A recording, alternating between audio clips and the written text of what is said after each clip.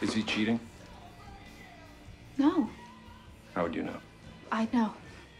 He and Diego aren't in bed together? No. What about him and you? A 52 card deck produces hundreds of millions of random patterns. But every time one of you loses two weeks in a row, you're sure something fishy's going on? Come on. I'm gonna stop paying you What do you mean? as my assistant. Firing? I'm not firing you. I'm just gonna stop paying you. You get paid once a week from the game. It doesn't seem fair. But I also have a job working for you And if you 24 didn't hours have a that day. job, you wouldn't have the game. You understand what I'm saying? I understand each of the words that you're saying, but I don't understand Look. what you're 24 hours a day, every day. You're gonna stop paying me to do that job because I'm making too much money doing my second job, and if I say no, I'll lose both jobs because it doesn't seem fair. Business is bad right now. Welcome to the real world.